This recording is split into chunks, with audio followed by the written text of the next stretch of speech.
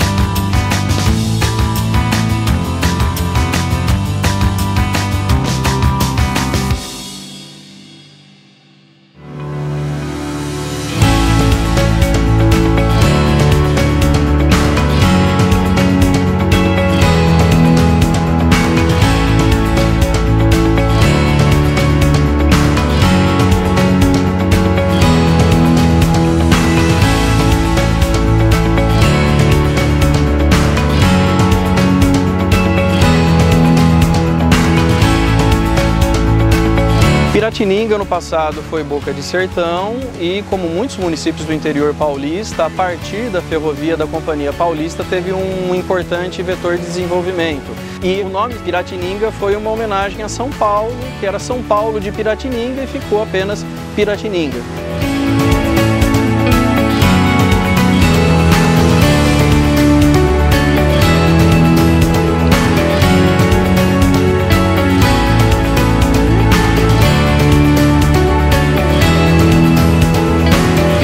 Década de 1980, houve uma sondagem em busca de petróleo aqui na nossa região e foi encontrada uma água salobra.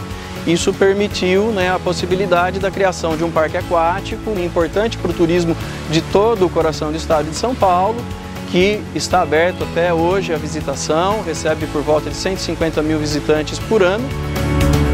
Essa água, a soproanálise, ela tem um estudo bastante aprofundado para psoríase, ela faz bem, e também para estética. E as pessoas utilizam aqui, principalmente para artrite, eles vêm curtir a nossa água porque ela tem uma série de propriedades. Ela sai quente com 42 graus e fica praticamente com 32 a 36 graus o tempo todo.